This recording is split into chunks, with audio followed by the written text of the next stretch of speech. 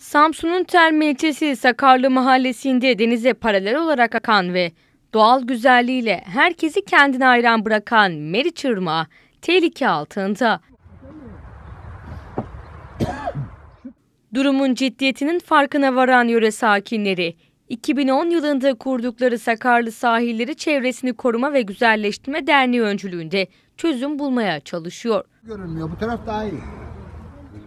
Her türlü girişimde bulunmalarına rağmen kimsenin adım atmadığını ve doğal güzelliğinin gözleri önünde yok olduğunu ifade eden bölge halkı bir an önce çözüm bekliyor.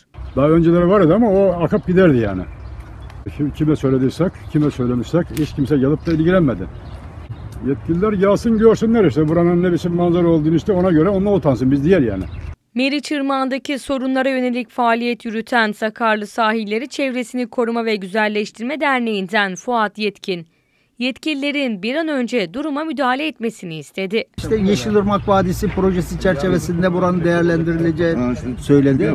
Ama buranın tahammülü kalmadı artık. Burası günden güne hep bütün canlı ölüyor burada. Burada e, bütün varlık, tabiat varlıkları olduğu gibi gidiyor.